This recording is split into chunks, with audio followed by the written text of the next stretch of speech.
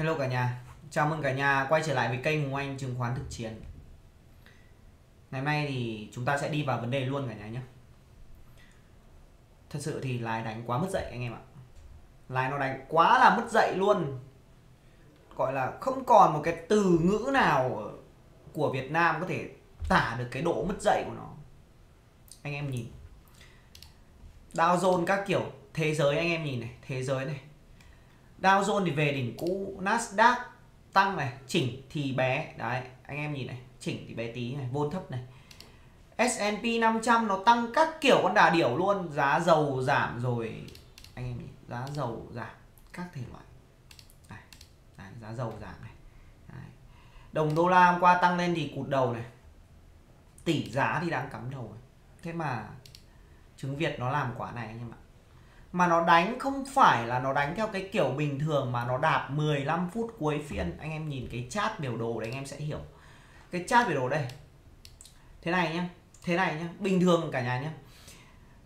Để Hùng Anh phân tích cho mọi người hiểu những anh em nào mà còn ngồi đây xem video Hùng Anh?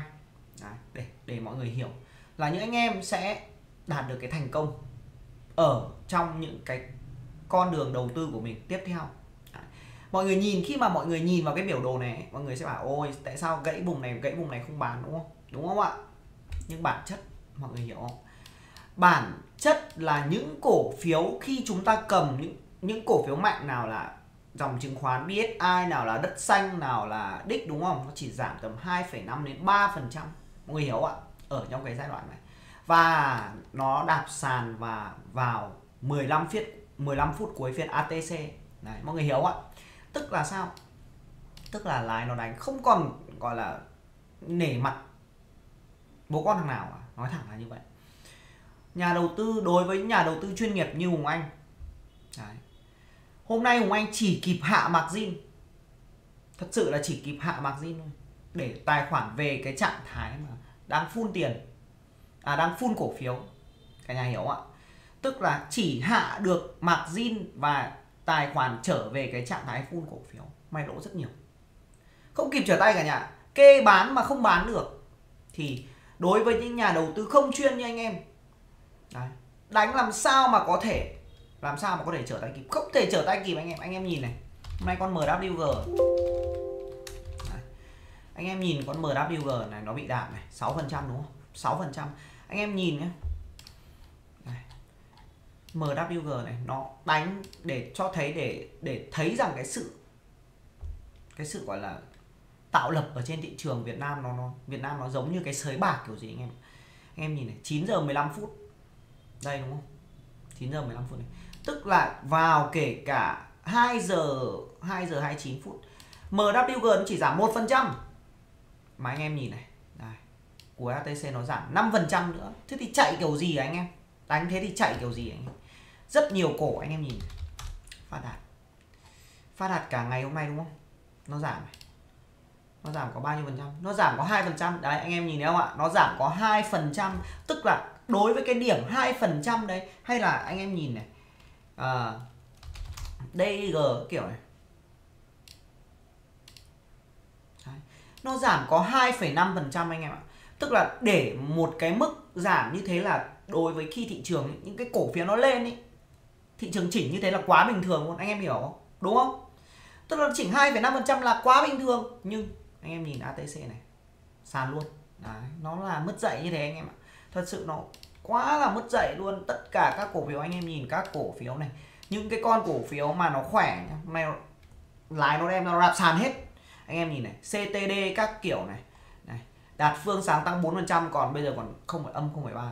KSB sàn này. Những con cổ phiếu anh em chú ý gần đây này, anh em nhìn này. Đây.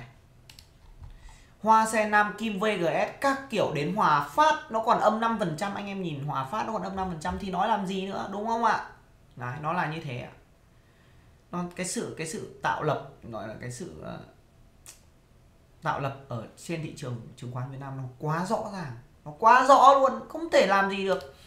Nên là chúng ta, nhà đầu tư chúng ta phải chấp nhận. Nếu mà chúng ta tham gia cuộc chơi ở trên thị trường chứng khoán này, chúng ta phải chấp nhận. Đấy. còn nếu không thì chúng ta sẽ phải rời bỏ thị trường. Anh em nhìn này NHA này, Nam Long này HTN các kiểu đây, những con cổ phiếu hot, đúng không anh em? HDG sáng 4% còn này. HDC nó đánh mất dậy đến nỗi như thế này anh em ạ. Hôm qua nó kéo trộm. Đúng không anh em? Hôm qua nó kéo trộm mà hôm nay nó đạp này một, một cái vôn rất bé nó đạp một phát từ đây xuống sàn. Tại sao nó đạp được như thế anh em? Em hiểu không ạ? Tại sao lái nó đạp ATC được? Tại vì ATC là nó làm cho nhà đầu tư không kịp trở tay thì nó mới có cái vôn bé như này. Nếu nhà đầu tư bán trong phiên nhé nếu mà thị trường rơi trong phiên nhé thì anh sẽ bảo anh em là bán ra. Nếu thị trường rơi trong phiên nếu cổ phiếu rơi 3 phần trăm hai à ba phần trăm xong rồi ba năm phần trăm bốn phần trăm anh sẵn sàng bảo nhà đầu tư là bán ra. Mọi người hiểu không ạ? Mọi người hiểu ạ. Tức là nó phải rơi từ từ và càng ngày cái độ rơi nó càng mạnh hơn. Nhanh em nhìn này. Nó rơi này. Đây, nhìn này. Có vôn mà đâu mà rơi, đúng không ạ? HDC không có vôn mà rơi, cuối cùng nó rơi một phát, sàn luôn. Thế thì bán kiểu gì ạ? Không thể bán được anh em ạ. Không ai có thể bán được trên thị trường này, thật sự luôn. Hôm nay hùng anh thì hùng anh bán được những cái con cổ phiếu, ví dụ là sàn, ở sàn upcom hùng anh bán được hay là hùng anh kê thì thật sự hùng anh cũng bán được, tại vì hùng anh cũng phải để ý tài khoản. Tức là hùng anh hạ mặc zin anh em ạ thật sự là cũng phải hạ margin zin.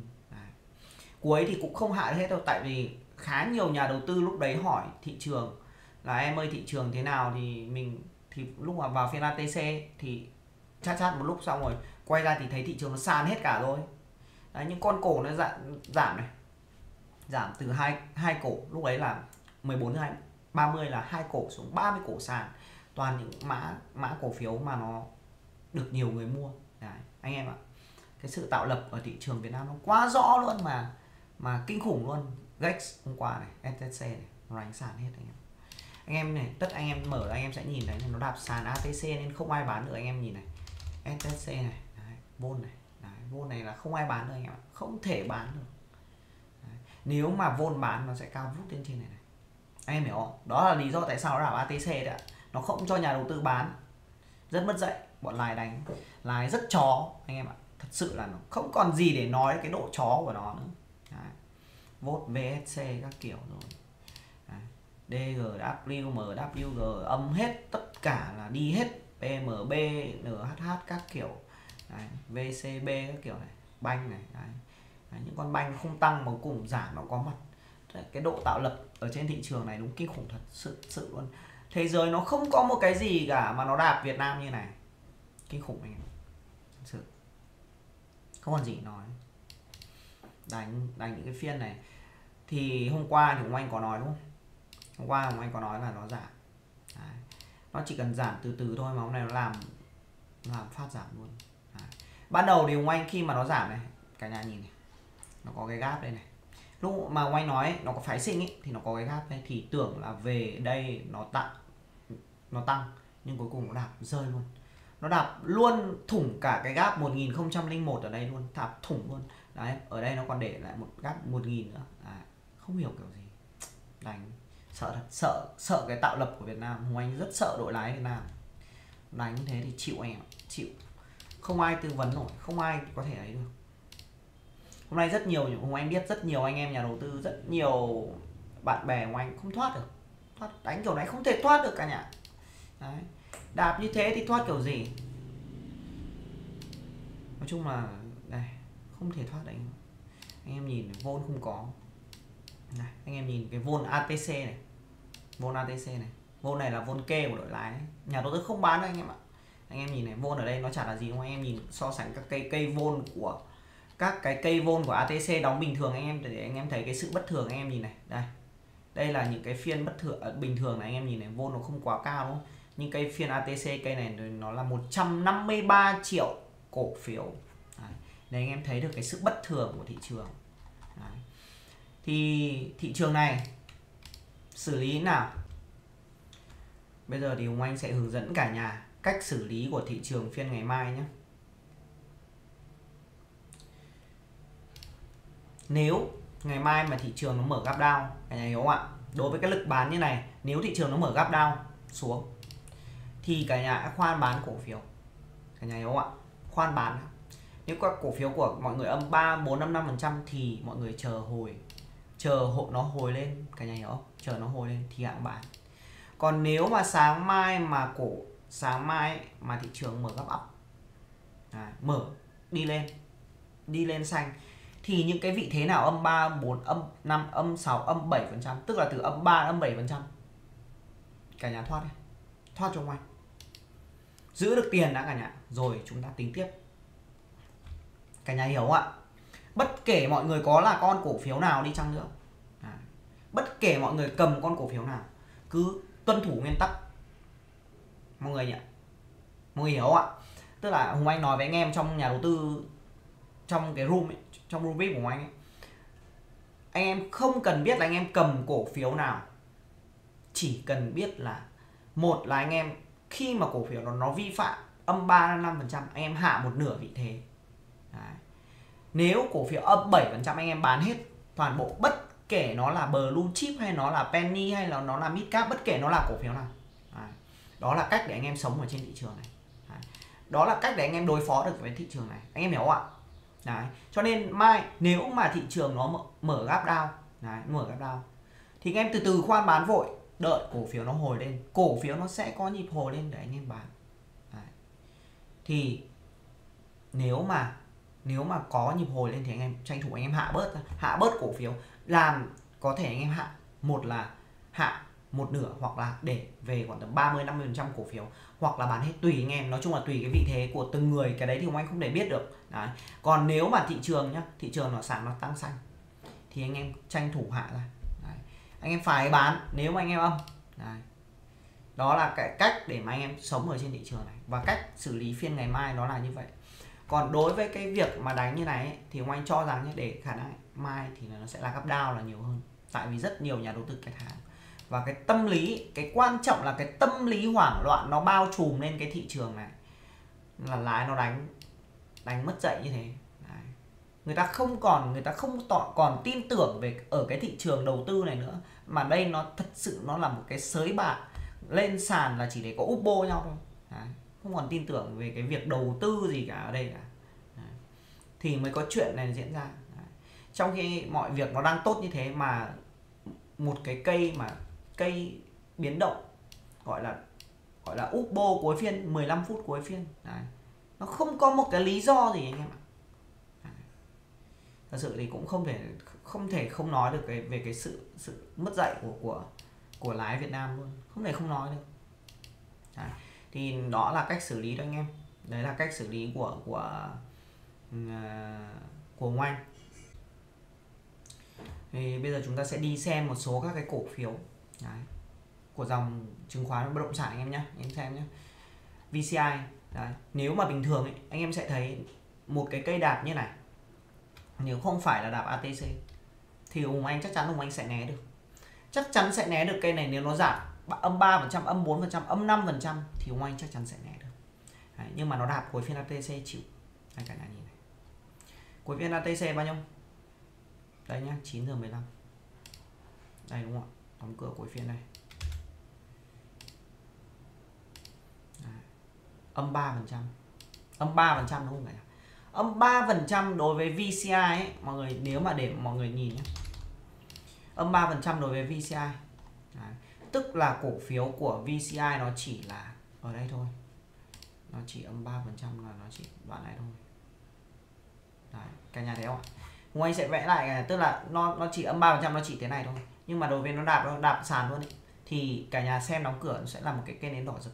Và không và rất là xấu. Cả nhà hiểu không Đấy.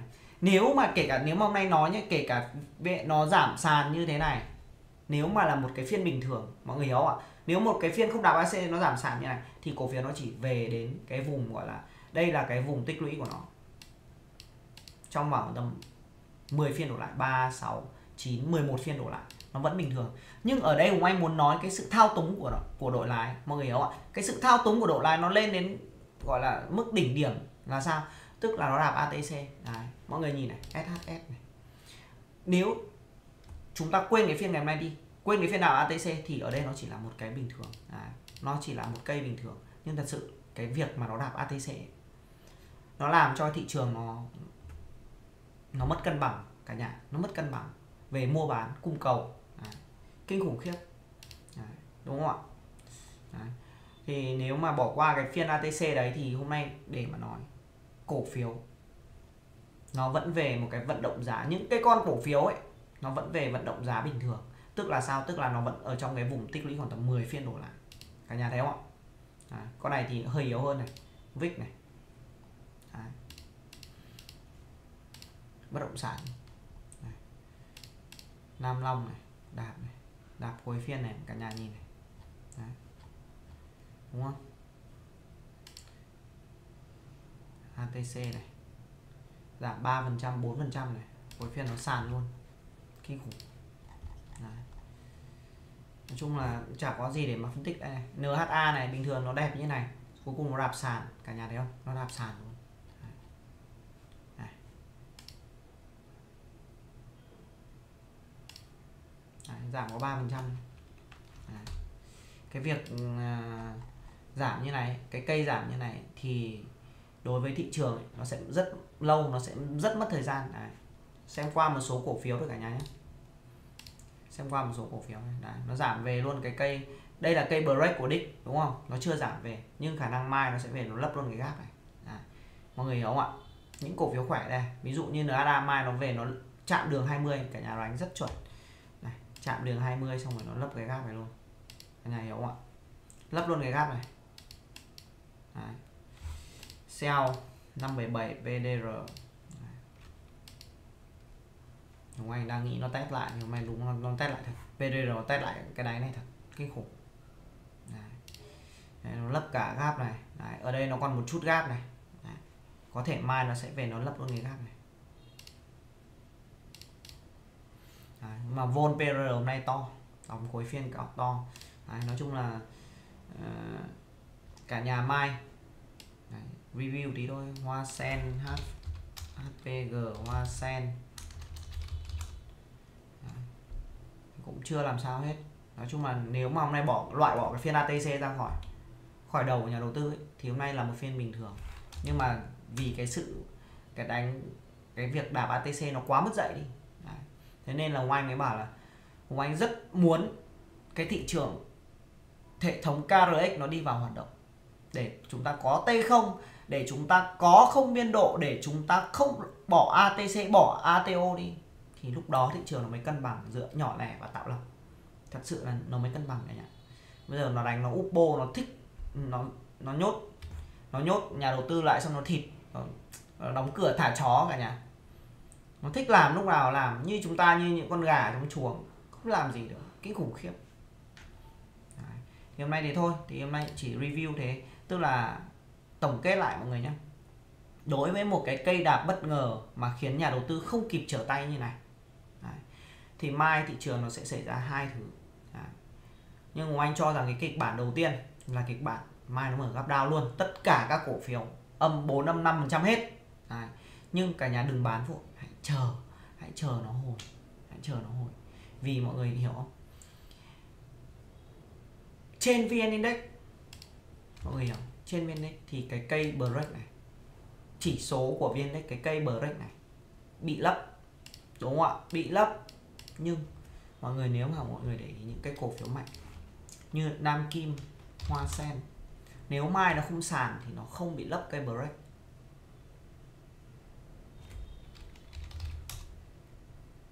Đây, Nam Kim này đấy, nó không bị lấp cây break cả nhà thấy không? Hoa Sen nó sắp bị lấp rồi mai có thể nó lấp luôn cây break. Cả nhà hiểu không ạ? Hay là những con PDR các kiểu này. Đây, cây break của nó không bị lấp. Đấy. Nếu mai nó phải không âm 5% cả nhà nhé mai mà nó âm 6 âm 7% đóng cuối phiên thì chịu. Đấy. Đây cả nhà nhìn này. Kinh khủng này, cũng kinh khủng đấy. Nó đánh thế này, kinh khủng này thì cả nhà phải tính toán rằng nếu mà mai đẹp nhất là nó hồi lên để thoát. Hồi lên để thoát. Còn nếu không, âm bạn khi mà nó mở gap down như này, cả nhà cũng phải chờ cổ phiếu hồi lên để cả nhà bán dần ra nhé Đấy. chứ đừng có tranh nhau bán sản này. Đấy. Thì hôm nay Hùng Anh chỉ review thị trường đến thế nó chả có gì để review cả, vì là nó đánh cái sự thao túng của nó nó quá rõ ràng và nó đánh kiểu này mất khách, thật sự. Mấy anh lái đánh kiểu này chỉ có mất khách thôi mấy anh lái đánh gì kiểu này các anh? Ok, thôi video hôm nay Hùng Anh đến đây là hết. Xin cảm ơn và hẹn gặp lại cả nhà vào video khác.